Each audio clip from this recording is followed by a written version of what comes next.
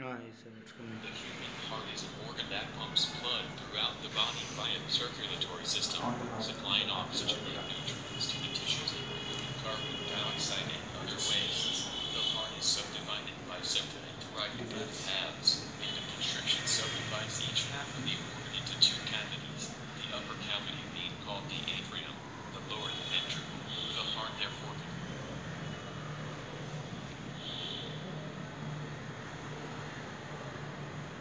The human heart is an organ that pumps blood throughout the body.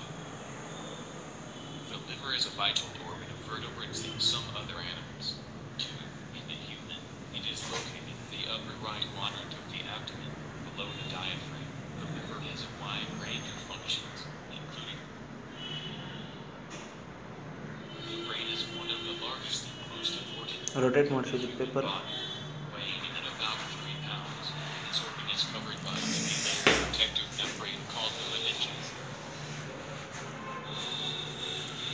ಹ್ಞೂ ಕೆಮ್ ಕೆಮ್ ಬರ್ತೈತಿ ಇವಾಗ ಇವಾಗ ಬರ್ತೈತಿ ಟ್ರ್ಯಾಕರ್ ಎಲ್ಲೋದ್ರೂ ಬರ್ತೈತಿ ಇವಾಗ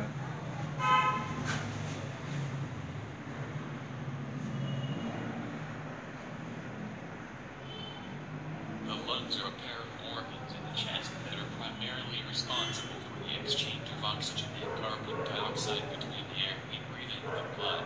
The anatomy of the Anatomy. respiratory system. Enough.